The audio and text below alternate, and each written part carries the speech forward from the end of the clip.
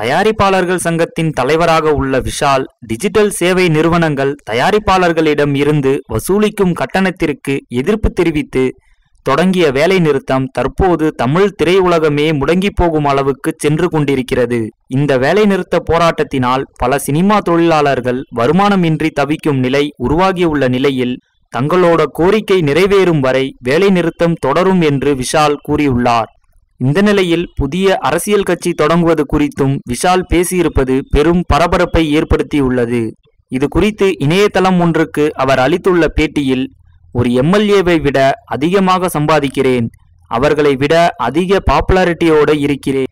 இருந்தும் மக்களின் குரல் எதிரொலிக்கணும்னு நினைச்சுதான் ஆர்கே நகரில் போட்டியிட்டேன். இரண்டாயிரத்தி பதினைந்தாம் ஆண்டு வெள்ளத்திலிருந்தே வடசென்னையின் இரண்டாயிரத்தி பதினைந்தாம் ஆண்டு வெள்ளத்திலிருந்தே வடசென்னையை கவனிக்கிறேன். அங்கே உள்ள மக்களோட பிரச்சனைகள் எனக்கு தெரியும்.